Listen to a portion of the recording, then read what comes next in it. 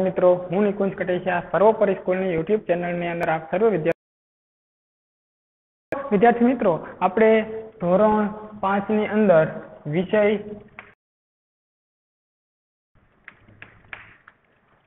ગણિત ગમ્મત જેમાં આપણે ચેપ્ટર નંબર બે, આકાર અને છઠ્ઠો. તો આપણે છેલ્લે જ્યાં સુધી પહોંચ્યા હતા, ત્યાંથી આગળ તો આપણને એવું કહે છે કે અંશ ઘડિયાળ.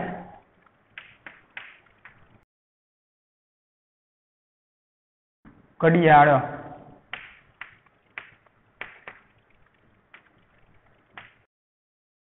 હવે, વિદ્યાર્થી મિત્રો, અંશ ઘડિયાળ એટલે શું?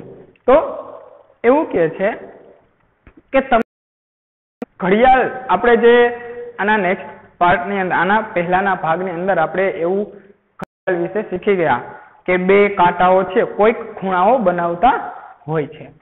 તો એ ખૂણાઓ જે છે, એના દ્વારા આપણે કેટલા અંશનો ખૂણો બને છે, આપણે જાણવાનું છે. તો ઘડિયાળમાં જે બે કાંટાઓ પણ આપણે ઉપયોગ કરવાનો છે અહીંયા કણે. તો આપણને એવું કે છે કે અપુ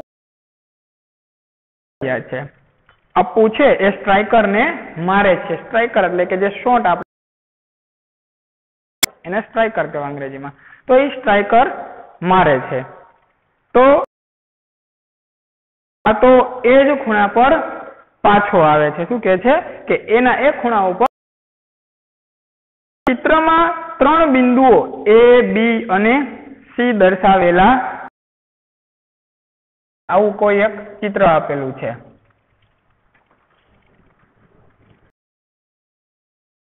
કેરમ બોર્ડનું. કેરમ બોર્ડની એ, બી, ત્રણ બિંદુઓ છે.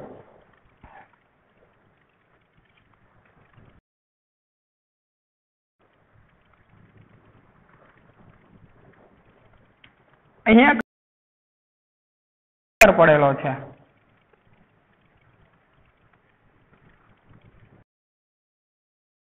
કોઈક ખૂણો બનાવે છે.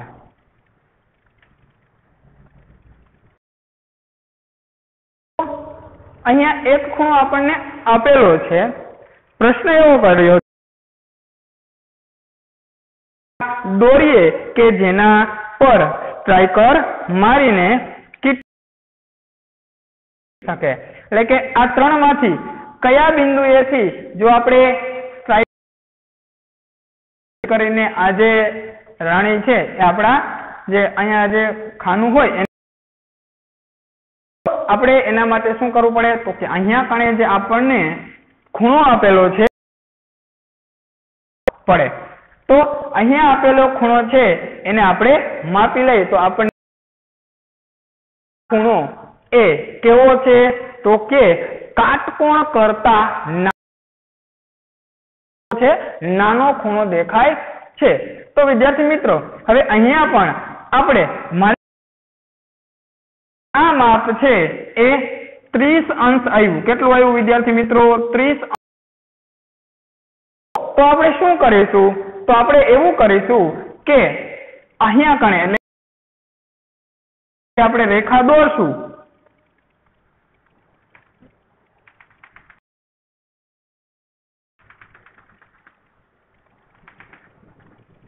અને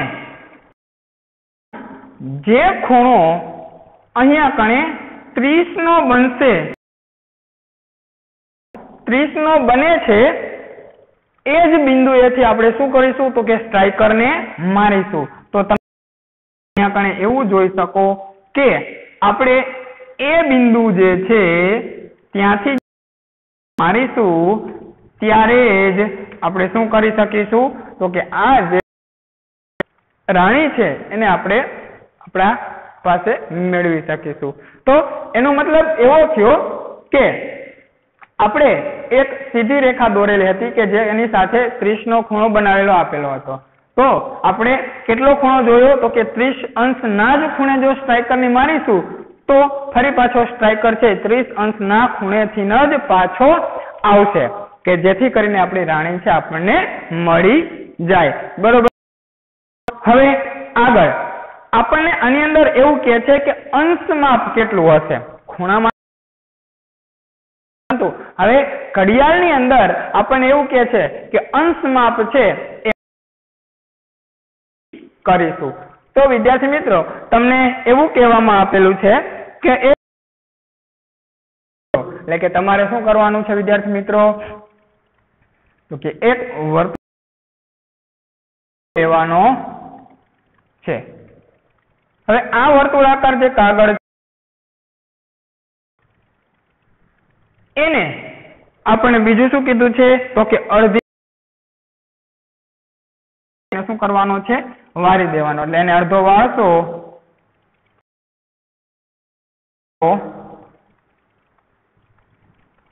આવો બની જાય છે. હવે ફરી પાછું આપણને એવું કહે છે કે તેની ફરીથી ચોથા ભાગમાં ગળી એટલે કે એને આવી રીતના વાળી દો. અહીંયાથી. અહીંયાથી વાળી દો. ત્યાંથી આમ ચોથો ભાગ.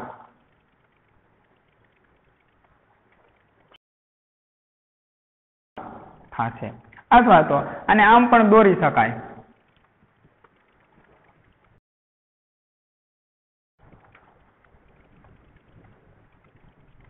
આ પણ એ જ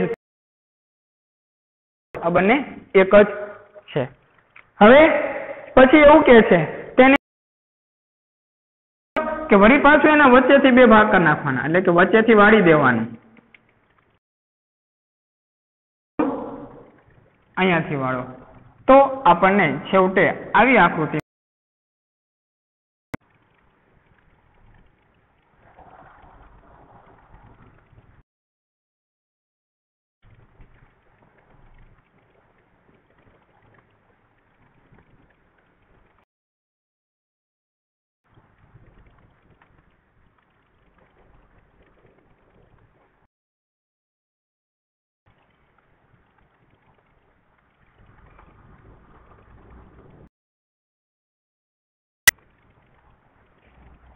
બરોબર છે વિદ્યાર્થી મિત્રો?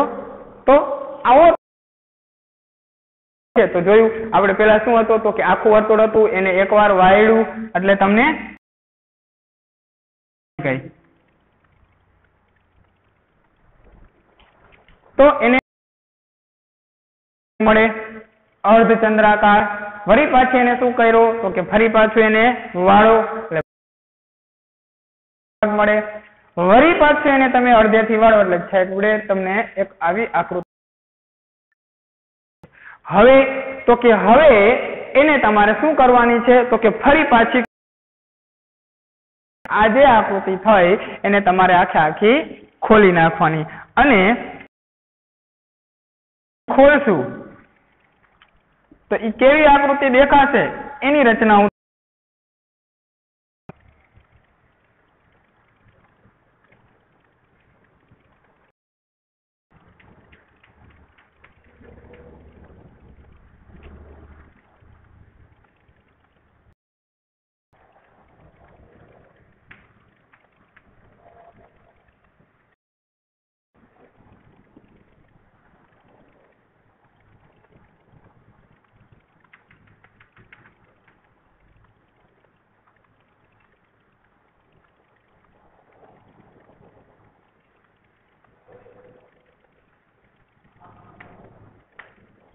તો વિદ્યાર્થી મિત્રો, વર્તુળની અંદર જ્યાં મેં આવી ડોટ ડોટ લાઈન કરેલી છે, એમની અંદર તમને એ મળે છે. તો કે ઘડી વળેલી જોવા મળે છે. બરોબર છે વિદ્યાર્થી મિત્રો? તો આવું તમને છે. હવે આની અંદર, એના અંદર બતાવ્યા પ્રમાણે તમને જે આકૃતિ આપેલી છે અહીંયા કણે. સૌ કેટલા? તો કે જીરો અંશ આ મીંડું કે અંશ દર્શાવે છે, વિદ્યાર્થી મિત્રો.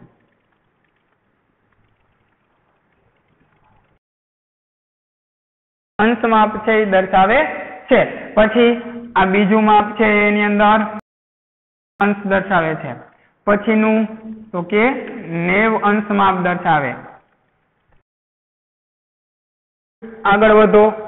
ત્યાંથી અહીંયા આવો એટલે તમને એકસો ને એસી વિદ્યાર્થી મિત્રો, આવી રીતના તમને એની અંદર શું આપેલું છે? તો કે આકૃતિ આપેલી દોરશો એટલે તમને મળશે એકસો ને પાંત્રીસ અંશ મળી આવે. આવી રીતના આખે આખી આકૃતિ તમે તૈયાર કરો, તો પછી આનાથી આગળ વધીએ. અંદર કેટલા ઉમેરવાના? તો કે પિસ્તાલીસ ઉમેરો.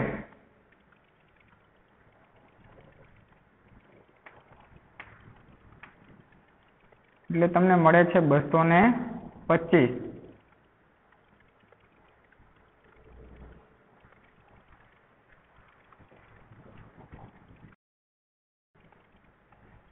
આની અંદર પિસ્તાલીસ ઉમેરો.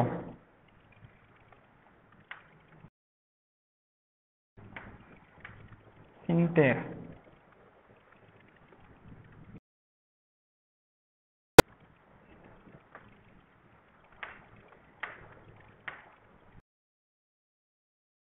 છેવટે ફરી પાછું શું આવી જાય? શૂન્ય આવી જાય. તો આવી આવે છે. હવે વિદ્યાર્થી મિત્રો, આ હતી આપણી કેવી? તો કે અંશ. વિદ્યાર્થી મિત્રો, આ હતી આપણી અંશ ઘડિયાળ. તમને આકૃતિની અંદર તમારી પાઠ્ય નથી. બરોબર છે? પણ તમે લખી શકો કે જો બે જે ઘડી વચ્ચે પિસ્તાલીસ તો અહીંયા ઝીરો થી શરૂઆત કરીએ તો પેલા અહીંયા પિસ્તાલીસ. બીજા અહીંયા પિસ્તાલીસ એટલે પાંત્રીસ. વળી ચોથા એટલે એકસો ને એસી. તો આવી રીતના એમાં પિસ્તાલીસ પિસ્તાલીસ છેલ્લે ત્રણસો ને પંદર આવે બરોબર છે? અને છેવટે એનાથી આગળ વધો એટલે અહીંયા ત્રણસો શૂન્ય અંશ દર્શાવતું હોય છે. હવે આ વાત હતી આપણી અંશ ઘડિયાળ હવે અંશ ઘડિયાળના ઉપયોગથી તમારા પેન્સિલ બોક્સનો કાટકોણ માપો અને ખાલી જગ્યા છે. આપણને એવું કીધું પેન્સિલ બોક્સ એટલે કે તમારી પાસે જે કંપાસ બોક્સ હોય, એ કંપાસ બોક્સની અંદર એનો જે ખૂણો હોય, એનો જે ખૂણો હોય એટલે કે કોણ માપક હોય એને લેવાનું છે અને એના મદદથી આપણને પેન્સિલ બોક્સનો કાટકોણ માપવાનો. હવે કાટકોણ છે, વિદ્યાર્થી મિત્રો? કહેવામાં આવ્યું હોય. મેં તમને અગાઉ એક કાટકોણની વ્યાખ્યા જ આપી દીધી છે કે જે ખૂણાનું માપ પૂરે હોય તેને આપણે શું કહેતા હતા? કાટકોણ કહેતા હતા. તો અહીંયા તો સીધું નામ કાટકોણ માપો કે જેથી કાટકોણનું માપ ખાલી જગ્યા થાય. તો કાટકોણનું માપ કેટલું હોય? જગ્યામાં લખશો. કાટકોણનું માપ કેટલું હોય તો કે નેવ અંશ. વિદ્યાર્થી મિત્રો, નેવ અંશ થાય. પછી, તમે ખૂણાઓના અંશ કેટલા હશે? કે જેમ કે કાટકોણથી છે, કાટકોણથી અડધો ભાગ.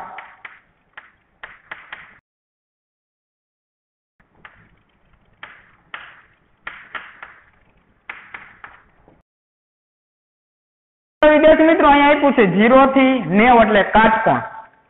બરોબર છે? આના અડધા કરીએ એટલે આપણને અહીંયા ઘડી મળતી હતી. તો એ ઘડીએ કેટલા મળે છે? કેટલો થાય? પિસ્તાલીસ અંશ થાય. બરોબર છે? પછી કાટકોણ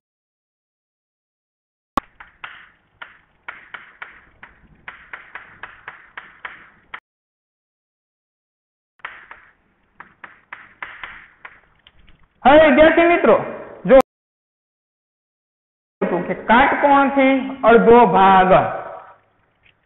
આમાં ન ખબર પડી કે કાટકોણથી અડધો ભાગ એટલે હવે અડધો કીધું એટલે શું કરવાનું? તો કે એને બે વડે ભાંગવાના. હવે કાટકોણ ને બે વડે ભાંગો એટલે આવું થાય. નેવ ભાંગ્યા બે.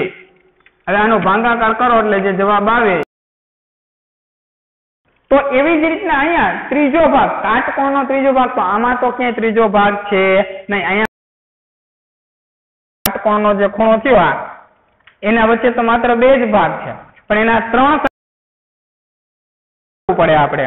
તો એવું કરશું આપણે કે કાટકોણ કેટલો કહેવાય? ત્રીજો ભાગ કીધો એટલે એને ત્રણ વડે ભાંગી નાખવાના. ભાંગી નાખવાના. તો જવાબ આવશે અહીંયા કણે ત્રીસ. કેટલો આવશે? તો કાટકોણનો ત્રીજો ભાગ કેટલો થાય? ત્રીસ અંશ થાય. કાટકોણનું બમણું. કાટકોણનું કાટકોણનું બમણું. એટલે બમણું એટલે એના કરતા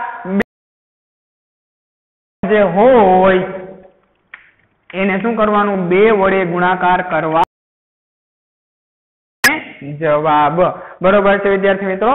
તો આ હતું આપણા માટે શું? તો કે માપમાંથી અલગ અલગ આપણને બનાવેલા બરાબર વસ્તુઓ. પછી એના અંદરથી પ્રશ્ન. પાના નંબર ત્રીસ પરનો ખૂણો માપો. જ્યાંથી કિટ્ટુએ સ્ટ્રાઇકર ચલાવવું જોઈએ, એ ખૂણાનું માપ ખાલી જગ્યા છે. હવે જો વિદ્યાર્થી મિત્રો, અહીંયા આપણને કહે છે કે આ ખૂણા માપવાનું છે, તો એ તમને જે મળે એ.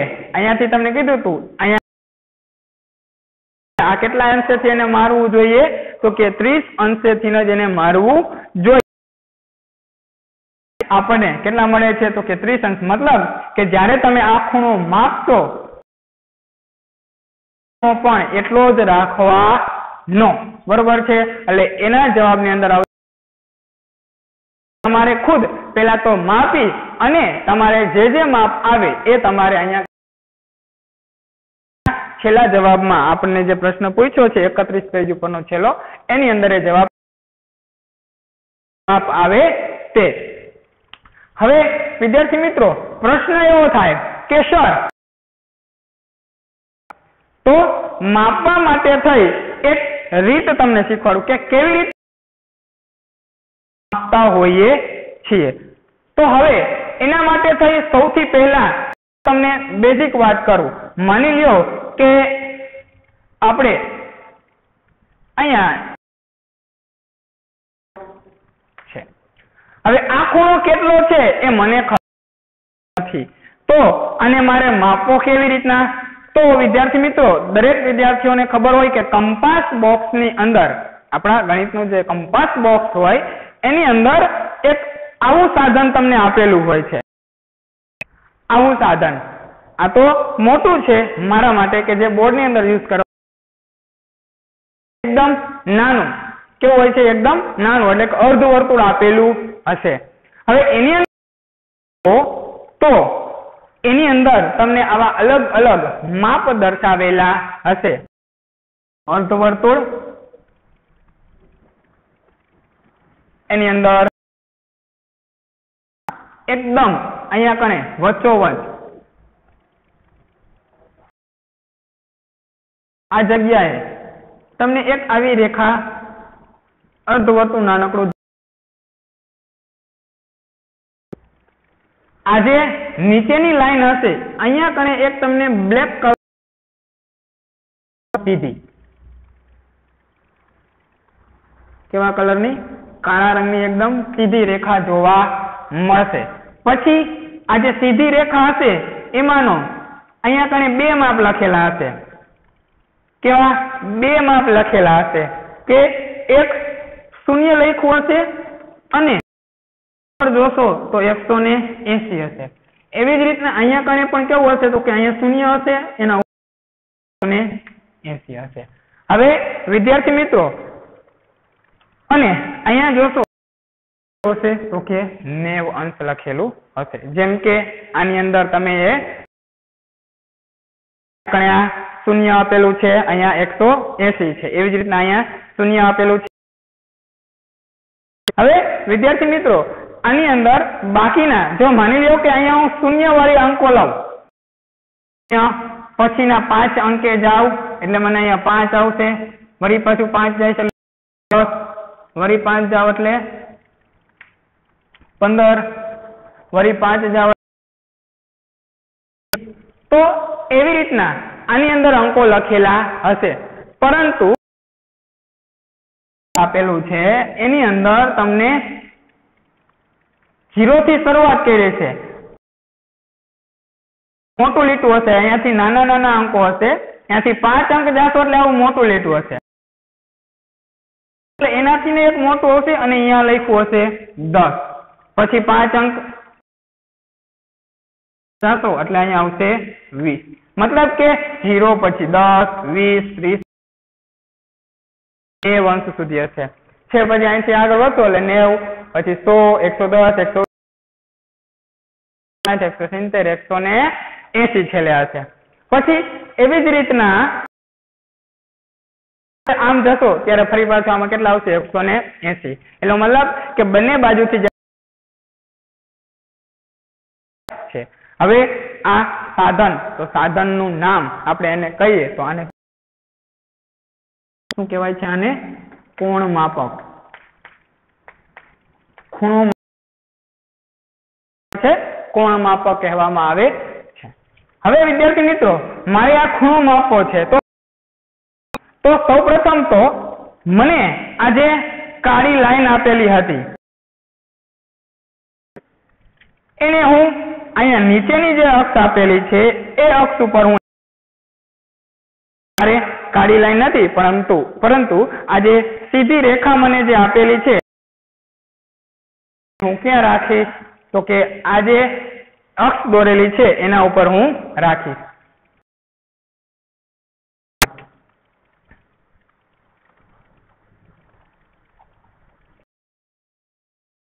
પ્રશ્ન કે, સર, મેં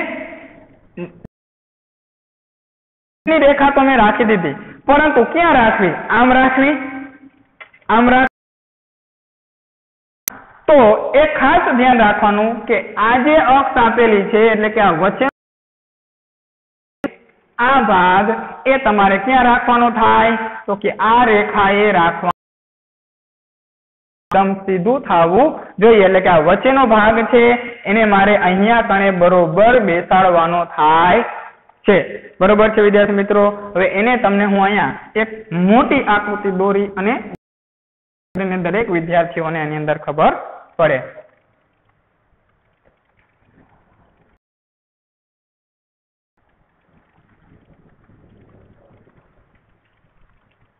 હવે અહીંયા હું કોણ માપક રાખું?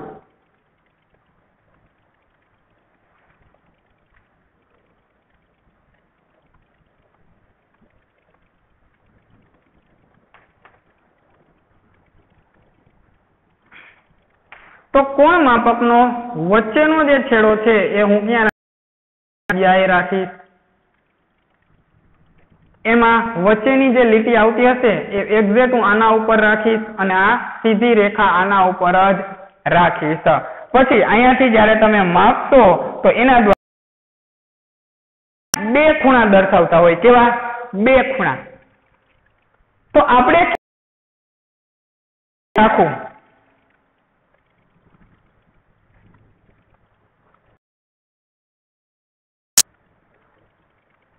તો મારે ધ્યાનમાં કયો લેવાનો? તો આપેલી હતી કે જેને હું ધ્યાનમાં લેતો હતો કોણ માપક માટે. આજે બે તરફની લીટી હોય, આલી બાજુ હતી. જો, આ વચ્ચેનો ભાગ છે. આપણો કોણ માપકનો વંશ છે. અને નયવંશની આલી બાજુ એક રેખા છે. આલી બાજુ એ કઈ છે નહીં. નેવંશ આપેલી છે. અહીંયાથી આમાં આપણે શું કરીશું? અહીંયા આ જે રેખા આપેલી છે. અહીંયા શૂન્ય છે. તો અહીંયાથી આપણે શૂન્યથી શરૂઆત એની કરીશું. જેમ કે અહીંયા શૂન્ય, પછી ત્રીસ, ચાલીસ, પચાસ અને અહીંયા આપેલું છે આપણને પંચાવન. તો એનો મતલબ કે આ ખૂણો થાય અહીંયા કણે પન્નો. બરોબર છે વિદ્યાર્થી મિત્રો? આવી રીતના તમારે એનો ખૂણો માપવાનો છે. હવે અહીંયા કણે સ્ટ્રાઇકરની વાત કરીએ. સ્ટ્રાઇકર આપેલું હતું.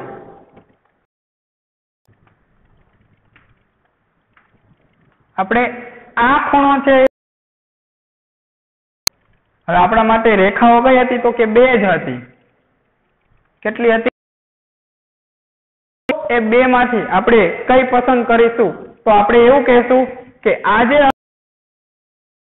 આ એના ઉપર આપણે આ સારી રેખા છે એ મૂકીશું. ક્યાં રાખશું આ બિંદુએ રાખીશું. તો આવી આકૃતિને આપણે આમ માપીશું.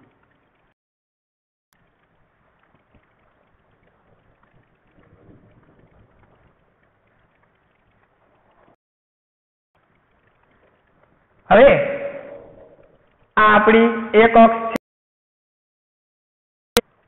અને આ એની આપણી બીજી અક્ષ છે. એટલે કે આ જે પહેલી અક્ષ છે થાય એટલે શૂન્યથી અહીંયા સુધી માપો.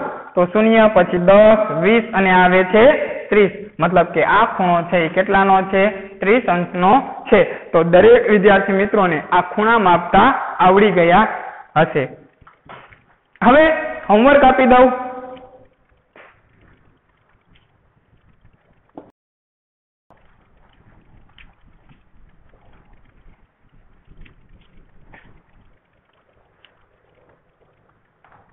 એકદમ સરળ.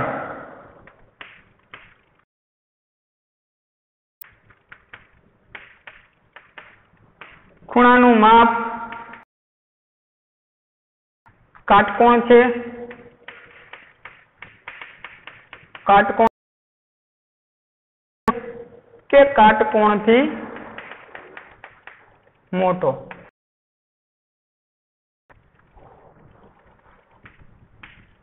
ત્રીસ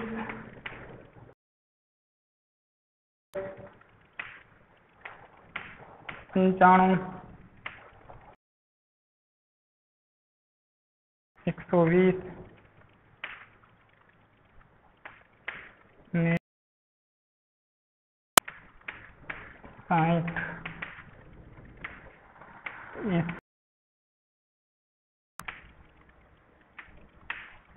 એકસો પચાસ. સો અને પિસ્તાલીસ તો હવે વિદ્યાર્થી મિત્રો અહીંયા તમારે શું કરવાનું છે? આ ખૂણો છે. એ કાટકોણ નેવંશનો છે તો કે ના નથી. બરોબર છે? પછી કાટ છે તો કે કાટકોણ એટલે કેવો? તો કે નેવું. તો કે નેવું થી નાનો છે તો કે હા. તો આમાં શું કરી દેવાનું? રાઈટ કરી દેવાનું છે. રાઈટ કરી દેવાનું છે. જેમ કે આમાં આપણે કહ્યું શું કર્યું? તો કે નેવંશથી નાનો છે, તો નેવંશથી નાનામાં આપણે શું કર્યું? રાઈટ બાકીનામાં ડેશ અથવા તો કંઈ નહીં કરો તો પણ ચાલશે. હવે બીજું એક ઉદાહરણ આપું કે આ. કેવો છે? તો કે કાટકોણ છે, તો કે ના. કાટકોણથી નાનો છે. કાટકોણથી મોટો છે, તો કે હા. તો કે એકસો વીસ છે, એ નેવથી મોટા હોય. એમાં કરશું. તો કે એકસો ને વીસની અંદર કાટકોણથી મોટામાં રાઈટ બરોબર છે. તો આ તમારે દરેક વિદ્યાર્થીઓ આ દાખલાઓ છે એ પૂર્ણ કરવાના છે. બરોબર? હોમવર્ક અસ્તુ